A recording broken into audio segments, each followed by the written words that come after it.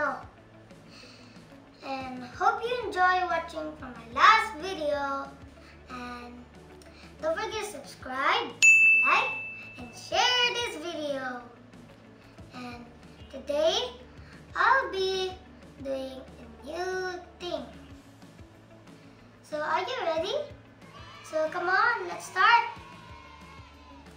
Hello kids! Today, I'll be reciting a simple poem. But first, what is a poem? Poem is a piece of writing in which expression of feelings and ideas is given intensity by particular attention to diction, sometimes involving rhyme, rhythm, and imagery.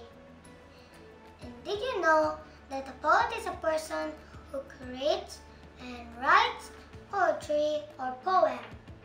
And did you know, kids, that you can create a simple poem just looking around your surrounding? Yes, it's possible. You can create poem about flowers, trees, toys, and more. But my own poem is about toys, toys, toys, created by me my tita. So, are you ready to hear my poem, kids? Okay, so here it goes. Toys, toys, toys. Every children must have toys, for these brings them so much joy. All day long, I play them on. In the morning, I pick them up. In the evening, have them all.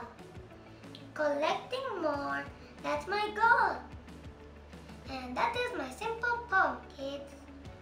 And hope you enjoy about listening about my poem. And also, don't forget to subscribe, like, and share this video. And hope you can try your poem at home, kids. And also, don't forget to use your imagination and make a poem about all the things that is surrounding on you. And that's all. Good, goodbye.